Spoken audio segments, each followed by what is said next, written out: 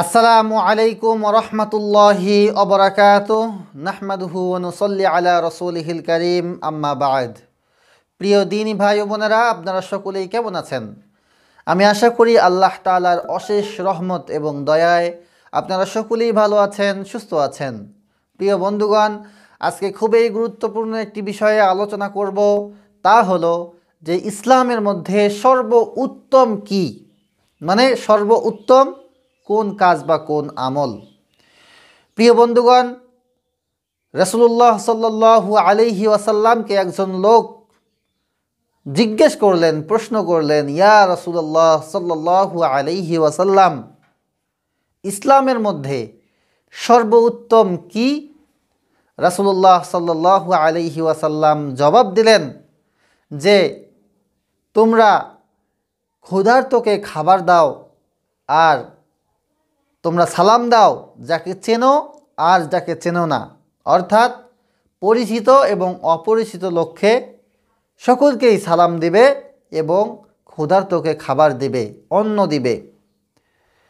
প্রিয় বন্ধুগণ, এই হাদিসটি সহি বুখারিতে উল্লেখ হয়েছে, হাদিস নাম্বার ছয় হাজার দুইশো ছত্রিশ। হাদিসটি সহি হাদিস বর্ণনা করেছেন হজরত আবদুল্লাহ ইবনে আমর রাজিয়াল্লাহ তালা আনহু। প্রিয় বন্ধুগণ এই হাদিসের মধ্যে রাসুলুল্লাহ সাল্লাহ আলিহি ওয়াসাল্লাম যে দুইটি কাজের কথা বলেছেন, তার মধ্যে প্রথম নাম্বারটি হলো ক্ষুধার্তকে খাবার দেওয়া এবং পরিচিত অপরিচিত সকলকেই সালাম দেওয়া। এই দুইটি কাজ হলো ইসলামের মধ্যে সর্ব উত্তম কিন্তু আমাদের অবস্থা হয়ে গেছে ভিন্ন, উল্টা। আমাদের আত্মীয় স্বজনদের মধ্যে, আমাদের বন্ধু বান্ধবদের মধ্যে, যাদের পেট ভরা আছে আমরা তাদেরকেই খাওয়ার জন্য পিড়াপিড়ি করি, জোর জবস্তি করি। খাও না খাও না, এক প্লেট খাও, একটু খাও, কমপক্ষে এক কাপ চা খাও। অথচ আমাদের আশেপাশে অনেক ক্ষুধার্ত ব্যক্তি আছে, যাদের দিকে আমরা ভুরুক্ষেপও করি না। তারা যদি আমাদের সামনে এসে দুইটা টাকা চায় খাওয়ার জন্য, পাঁচটা টাকা চায় খাওয়ার জন্য, তারপরেও আমরা তাদেরকে তাড়িয়ে দিই। আপনারা একটু মনের সঙ্গে বুঝে দেখবেন যে আমি কথাটা ঠিক বলেছি কি না প্রিয় বন্ধুগণ, এই কাজটি মোটেও করা উচিত নয়। আপনি যে এক প্লেট খাবার আপনার বন্ধুকে খাওয়াতে যাচ্ছেন, সে যদি ক্ষুধার্ত থাকে, কোনো সমস্যা নেই, খাইলো, আলহামদুলিল্লাহ, সে খেতে যাচ্ছে না, তাকে জোর করার কোনো প্রয়োজন নেই। তার সঙ্গে যখন দেখা হয়েছে, তখন সালাম দিন এবং তাকে সালাম দিয়ে বিদায় করে দিন। আপনি কিন্তু একটা উত্তম কাজ করলেন ইসলামের মধ্যে, যে পরিচিত, অপরিচিত সকলকেই সালাম দেওয়া।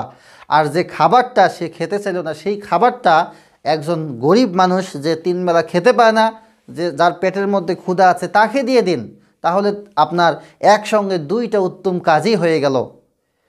আপনার বন্ধু আপনার কাছ থেকে ছালা, সালাম যদি পায়, যদি সম্মান পায়, আপনি যদি তাকে সম্মান করেন, শ্রদ্ধা করেন, ভালোবাসা দেন, সে কিন্তু তাতেই খুশি। কিন্তু একজন গরিব মানুষ, তার যদি পেটে ক্ষুধা থাকে, তাকে শুধু সালাম দিলে কিন্তু হবে না। সালামের সঙ্গে সঙ্গে তাকে একটু খাবারও দিতে হবে।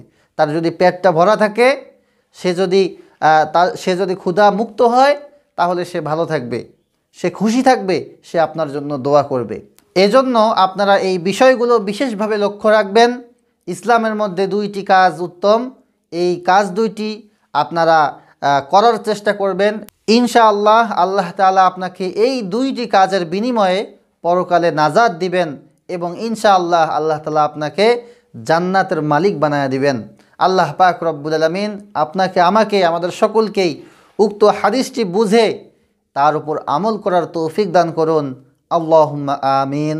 ওসালামু আলাইকুম রহমতুল্লাহি অবরাকাতুহ